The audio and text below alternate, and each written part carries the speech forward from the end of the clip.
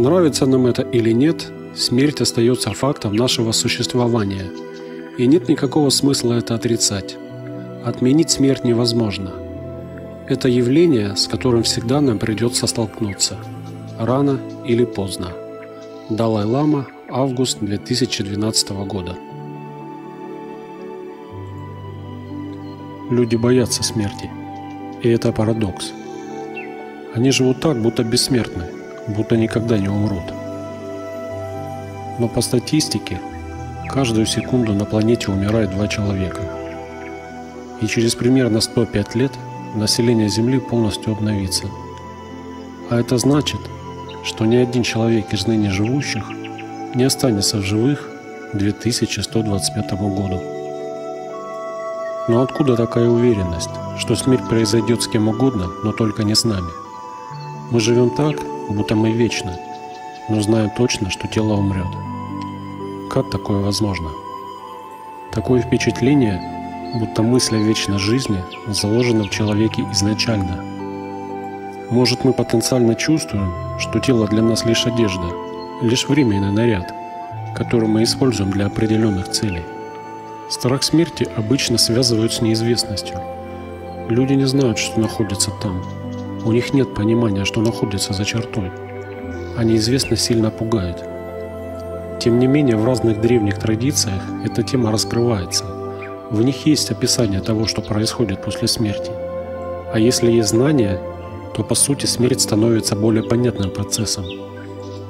Например, ведическое знание говорит, что смерть – это процесс, который состоит из четырех этапов. Часто их сравнивают с четырьмя этапами рождения. Эти этапы идентичны. Более того, Веды говорят, что есть четыре вида страданий этого мира. Это рождение, болезнь, старость и смерть. И самое большое страдание приносит рождение. Болеть, стареть и умирать не так страшно, как рождаться. Чтобы разобраться в этом, нам потребуется знание того, как устроен сам человек, включая все его энергетические тела. Знания науки не позволяют раскрыть эту тему – Поэтому мы будем руководствоваться более древними ведическими знаниями, присутствующими во всех древних культурах мира. Практически все эти знания в той или иной форме говорят, что помимо грубого физического тела, которое мы, как правило, ассоциируем с собой, есть тонкое энергоинформационное тело, которое по сути является нашей психикой. Оно, в свою очередь, состоит из трех составляющих – это наш ум, разум и ложное эго. Ум – это тонкая психическая структура, собирающая информацию от органов чувств и действующая на основе этой информации. Действует ум на основе принципа «нравится-не нравится». Если бы человек руководствовался только этим принципом, то по сути ничем бы не отличался от животного. Но у человека есть еще и разум – это еще более тонкая структура, которая в свою очередь руководствуется принципом правильно-неправильно, хорошо-плохо. Над разумом находится еще более тонкая структура, которая называется эго. То есть это наше отождествление, кем я себя считаю. В нашем с вами контексте есть всего два ответа на этот вопрос. Либо мы тело, либо мы нечто большее. Либо мы живем как тело, либо мы живем как вечное живое существо. Часто мы говорим, что у нас есть душа, но правильным будет утверждение, что у нас есть тело, поскольку в этом случае мы ассоциируем себя с душой. Истина в том, что мы не тело, которое получает опыт духовной практики, проживая свою жизнь. Мы изначально духовные живые существа, которые получают опыт пребывания в материальном мире – над ложным эго есть еще более тонкая энергия. Она уже уходит за пределы материального. Это наше сознание. Сознание как энергия души. Исходя из этого мы получаем, что душа как бы находится в оболочке. Душа окутана нашим эго, разумом и умом. И все это находится в нашем физическом теле, как матрешка. Так что же происходит, когда мы рождаемся? Душа в оболочке тонкого тела входит в контакт с грубой материей, с оплодотворенной яйцеклеткой. Затем душа как бы засыпает на три месяца, входит в бессознательное состояние. Затем она просыпается, и оставшееся время, 5-6 месяцев, проживает целую жизнь. Если по судьбе нам положено 70 лет, то в этом состоянии мы воспринимаем эти 5-6 месяцев как 70 лет. Мы живем в этом пространстве как во сне. И от физического и эмоционального состояния матери зависит качество этого сна, качество маленькой жизни. А это значит, что до рождения мы уже получаем какой-то опыт. Но вернемся к стадиям рождения и смерти. Их, как вы помните, четыре. Первая стадия рождения, океаническая, эта стадия заканчивается, когда начинаются родовые схватки. И вот родовые схватки начались, а родовые пути еще не открылись. Это стадия, когда мир рушится, а что делать еще непонятно. Нет выхода. Эта стадия называется апокалипсис. И продолжается она до тех пор, пока не откроются родовые пути. Затем начинается третья стадия – свет в конце тоннеля. Ребенок проходит по родовым путям. И четвертая стадия – когда мы уже появились на свет, но рождение еще не закончилось. Должен пройти некий период времени, в котором ребенок проживает свою предопределенную жизнь из расчета один день за один год. Если, к примеру, суждено прожить 70 лет – то эта стадия будет длиться 70 дней. Называется она освобождение. В Ведах есть упоминание о том, как мама, наблюдая за ребенком в течение этого времени, может прочитать его судьбу. В это время ребенок находится в уязвимом состоянии. Только по прохождении этого срока рождение считается окончательно законченным. И когда процесс рождения закончен, начинается смерть. И то, что мы считаем своей жизнью, это всего лишь первая стадия смерти. Даже на уровне устройства клетки можно понять, что каждый цикл деления клетки сопровождается процессом, когда от хромосомы отрезается маленький кусок теломера. То есть процесс запущен. Каждое тело запрограммировано на определенный срок своей жизни. А теперь мы подошли к самой интересной части – Рассмотрим теперь четыре этапа смерти. Первый этап – это вся наша жизнь. Потом наступает сам момент смерти. И веды описывают, как это происходит. Сначала живое существо чувствует сильную тяжесть во всем теле. Мышцы перестают слушаться. Потом тело начинает остывать. И вдруг оно входит в состояние резкого нагрева. Именно в этот момент происходит отрыв тонкого тела от грубого физического. Этот отрыв сопровождается тем, что у живого существа чувства отрываются от органов чувств. Зрение отрывается от своего органа, слух от своего, и живое существо естественным образом попадает в состояние изоляции, в состояние темноты и сенсорной депривации. Это состояние длится от нескольких секунд до нескольких часов. Затем живое существо видит яркую вспышку белого света и впадает в забытье на какое-то время, после которого приходит в себя и осознает, что находится все в той же комнате. Давайте теперь будем называть живое существо душой. Так вот, душа все видит, все слышит, все осознает и понимает.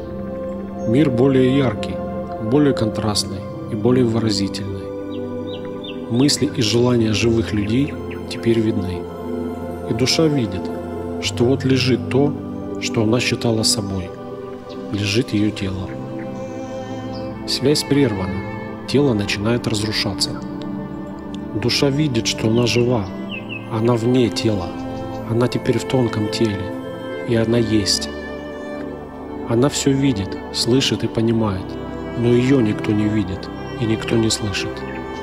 Эта стадия длится 9 дней. Именно поэтому по истечении этого срока принято провожать душу в дальнейшее путешествие. И как мы уже помним, эта стадия называется апокалипсис. Мир разрушен, а куда идти еще неизвестно. Эти 9 дней Душа находится рядом со своими родными. Она очень привязана к ним и просто не хочет и не может никуда идти. Стоит подумать об умершем, и по законам тонкого мира он в мгновение ока окажется рядом, а думают о нем в это время постоянно. В это время можно еще поговорить с душой человека, попрощаться, что-то объяснить, что-то сказать, что не успели сказать при жизни, покаяться, попросить прощения. Он слышит, он все понимает. Можно даже почувствовать его присутствие. Параллельно с этим умерший подводит итоги всей своей жизни. Задается вопросом, как он прожил свою жизнь. Как правило, в этот момент все испытывают одинаковые сожаления и эмоции. Это сожаление об упущенных возможностях. Кто-то не позволял себе любить, кто-то не был честен с собой, кто-то не позволял себе заниматься любимым делом. Просто представьте себе на мгновение, какие сильные сожаления об утраченном должен испытывать умерший в эти дни. Все это длится ровно 9 дней. В течение этих 9 дней ему нужна помощь и поддержка родных. Их поведение очень сильно влияет на его дальнейшую судьбу. Традиционная модель поведения близких умершему людей это плач, слезы и горе. Но есть и другая модель поведения, осознанная и продиктованная знаниями. Это понимание того, что близкий человек ушел и находится сейчас в тонком теле, и ему нужна ваша помощь. А слезы и горе – это то, что усугубляет его ситуацию. В это время необходимо быть в состоянии собранности. Необходимо ему помочь, Именно от родных зависит, что с ним будет дальше.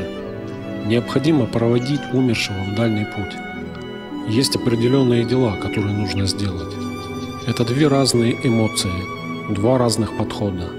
В первом случае родные плачут больше о себе. Им жалко в первую очередь себя, так как им приходится пройти через это, через горе. Второй подход более осознанный, более грамотный. Это эмоция светлой разлуки.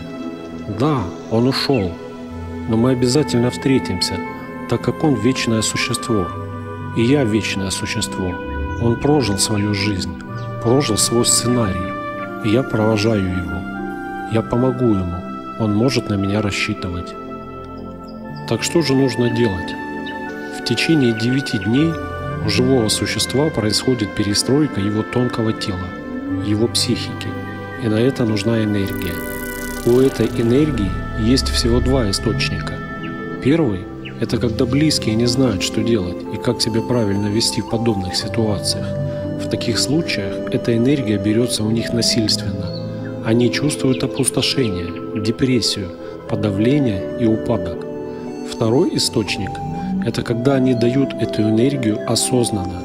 Дается эта энергия через пищу. Поминки как традиция. Это способ передачи этой энергии. Все, что съедается и выпивается на поминках, вся тонкая составляющая съеденного и выпитого идет к ушедшему в виде энергии. Есть такая невежественная традиция, когда умершему наливают в стакан водку и кладут сверху кусок хлеба. Предпосылка правильная, но форма неправильная. Просто ради интереса спросите у любого священника – можно ли так делать, и послушайте, что он вам скажет. Не должно быть никакой водки. В тонком теле все это воспринимается исключительно в виде энергии, в виде сути. Какая может быть суть у водки, какая энергия? Конечно, алкоголь не может по сути нести в себе позитивную энергию. Не должно быть и мяса. Думаю, не нужно даже объяснять почему. Но я объясню. Живое существо было убито, это значит, что оно испытало определенные эмоции. Гнев, страх, раздражение, боль. Это все тонкая составляющая энергии, которая находится в мясе. И так как передается тонкая энергия, умерший все это испытывает на себе. В идеале передается энергия живой пищи. В разных писаниях упоминаются примерно одинаковые блюда, которые варятся для поминок. Как правило, это отварной рис – которые приправляются кунжутом, простоквашей, либо фруктами и ягодами. Если вы спросите у священника об этом, то, возможно, будете удивлены. Он скажет вам то же самое. Такая пища освещается и преподносится в течение 9 дней умершему живому существу. Просто ставится перед фотографией и предлагается. Фотография в данном случае используется для настройки на энергию умершего. На девятый день разрывается оболочка кармического тела, которая связывает чувства человека и внешний мир. И человек перестает воспринимать внешний мир. Наступает третья стадия, которая также называется «свет в конце тоннеля». Она длится 40 дней. Ошибочно поминают на 40 день после смерти. Это неверно. Делать это необходимо на 40 день после 9, то есть на 49 день. Именно в этот день тонкое тело как бы сворачивается, и внимание души погружается в свой собственный ум. Человек входит в контакт с тем материалом, который он набрал в течение жизни. Эмоции, желания, мысли, страхи, отношения – все, что было при жизни. Он движется в течение 40 дней по одному из каналов. Этот канал выбирается в соответствии с той формой, в которой он пойдет на следующее воплощение – в тибетской книге мертвых пишется, что цвет света в конце тоннеля и определяет будущую форму. В этой же книге пишется, что голубой цвет определяет животную форму, а желтый – человеческую. К слову, на планете Земля насчитано 8 миллионов 700 тысяч видов жизни. Душа движется по этому тоннелю и входит в контакт с теми энергиями, которые человек сам когда-то создал и он их проживает в виде сна, в котором видит символы, метафоры или образы. Это хорошие сны и не очень, в зависимости от наработанной энергии. Смысл этого 40-дневного сна – это своеобразные пересмотры, выводы, уроки и работа над ошибками. Это формирует определенное отношение к прожитой жизни. На 49-й день со дня смерти заканчивается и третья стадия – и душа переходит на четвертую, на стадию освобождения. Она чувствует себя как актер, который отыграл свою роль и может отдохнуть перед тем, как получить новую форму. Сценарий будущей жизни уже сформирован. Он формировался все эти 49 дней. Душа может посмотреть на него. Она может увидеть, в какой стране будет воплощение, кто будут родители, может увидеть значимые события будущей жизни. Это определенный кармический сценарий, по которому пройдет человек. Но в тех или иных ситуациях у человека всегда будет право выбора. Этот сценарий во многом зависит от определенного умонастроения человека в момент умирания, то есть он определен тем, на чем был человек сосредоточен во время своей смерти, о чем он думал в этот момент. Это та отправная точка, от которой потом строится вся дальнейшая судьба следующего воплощения. В течение 9 дней строится каркас и окончательно формируется в последующие 40 дней. Веды говорят, что о чем человек думает в момент смерти, такое существование он и получит. Так происходит всегда. Четыре стадии рождения, четыре стадии смерти и все сначала. Все это называется самсарой является одним из центральных понятий в индийских религиях, каждая из которых дает свои интерпретации понятия самсары. В большинстве традиций и философских школ самсара рассматривается как неблагоприятное положение, из которого необходимо выйти. Например, в философской школе Адвайта Веданты индуизма, а также в некоторых направлениях буддизма, самсара рассматривается как результат неведения в понимании своего истинного «я», неведение, под влиянием которого индивид или душа принимает временный и иллюзорный мир за реальность. Упоминание о самсаре или реинкарнации присутствует и в раннем христианстве. Даже в современной трактовке Библии можно найти отсылки к реинкарнации. Но можно ли прерывать самсару? Конечно, можно. И смерть как раз является той уникальной возможностью, с помощью которой можно это сделать. Последняя мысль всегда искренняя и настоящая. Это очень сильная, формирующая мысль, и заменить ее другой мыслью не получится. Достаточно просто в момент смерти подумать только о Боге. А если в этот момент мы думаем о Боге, то уходим к Богу.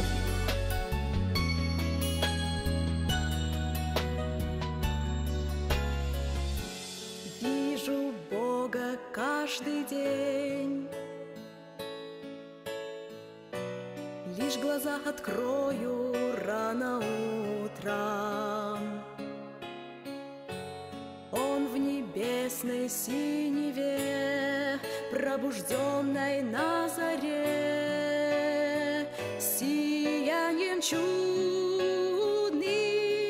Всюду ты, бесконечный Бог-творец, бесконечный Бог-отец, в своем слове неизменный. Ты обитающий в сердцах,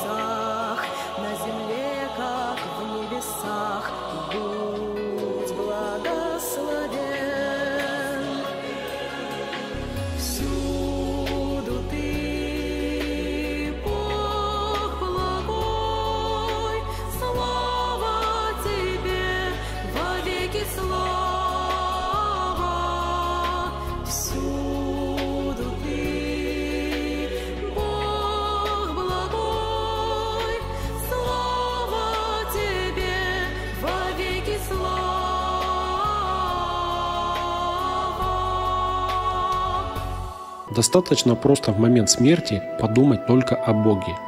А если в этот момент мы думаем о Боге, то уходим к Богу –